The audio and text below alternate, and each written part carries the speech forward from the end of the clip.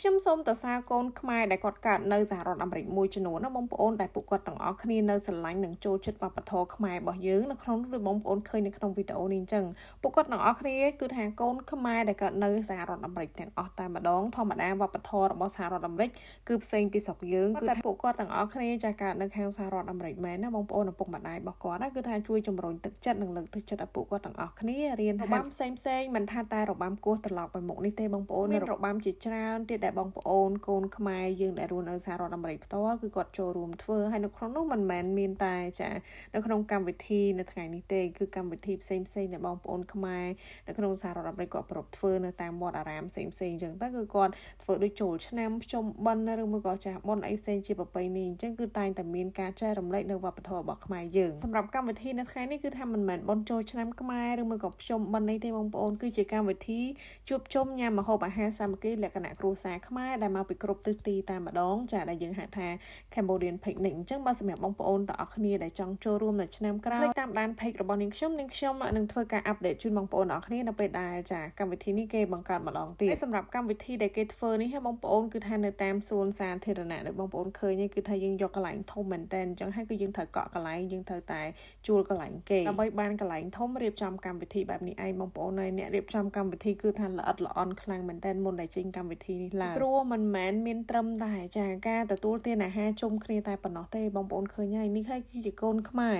ចាកូនខ្មែរដែលកើតនៅសហរដ្ឋអាមេរិកគាត់ខិតខំរំរបាំនឹងខ្ញុំអាចឲ្យបន្ទុកបាន10លើ10តែម្ដងបងប្អូនពីព្រោះពួកគាត់ទាំងអស់គ្នារំស្រស់គ្នាហើយស្អាតក្បាច់ក្បោនឹងផ្សេងផ្សេងយោនិយាយពីថា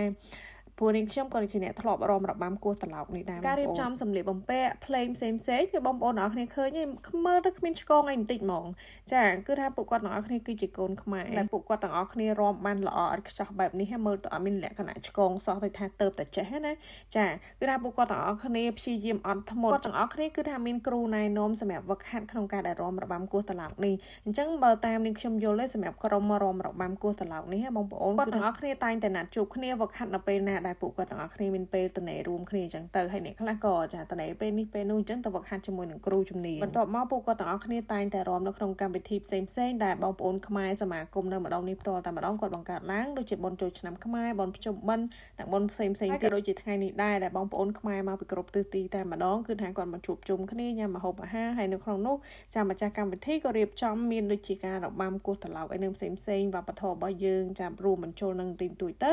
ដើម្បីឲ្យចាបងប្អូនផ្សេងផ្សេងមិនមែនមានតែខ្មែរទេបងប្អូនគឺថាមានជនជាតិអាមេរិកកាំងនិងជនជាតិផ្សេងផ្សេងហ្នឹងគឺថាពួកគាត់ទាំងអស់គ្នាបានចូលរួមមកច្រើនខ្លាំងមែនទែនគឺថាយើងបានដាក់ផ្លាកធំធំនេះហើយគឺថាកម្ពុជានេះហើយគឺជាខ្មែរខ្មែរគឺមានវប្បធម៌បែបនេះគឺខ្មែរគឺធ្វើបែបនេះហ្នឹងបងប្អូនឥឡូវបងប្អូនទាំងអស់គ្នាមើលនេះខ្ញុំនិយាយរួមទៅស្រឡាញ់ក្នុងការរំរបាំរបស់ពួកគាត់ខ្លាំងមែនទែនសូមសរសើរហ្មងបងប្អូនកូនខ្មែរនៅស្រុកនេះគឺថាមិនងាយទេបងប្អូនហើយចាគឺថាមិនងាយមិនងាយតែម្ដងអារឿងថាការស្រឡាញ់វប្បធម៌របស់ខ្មែរតែរំបែបហ្នឹងគឺថាដូចថាគ្នា